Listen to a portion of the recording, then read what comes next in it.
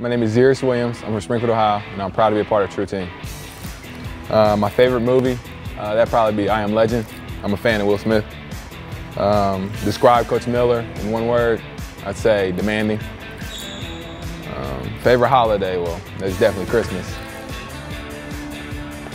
Favorite food, uh, that'll probably be pasta, spaghetti. If you were a superhero, what would be your superpower? Probably super speed, yeah. How many pairs of shoes do you own? Mm, about 10, 15. Pet peeves. I don't really have a, I really don't have a pet peeve. A favorite TV show, definitely The Office. Um, my dream job would be, my dream job would be just doing probably, um. Thanks for watching. We'll see you guys in October.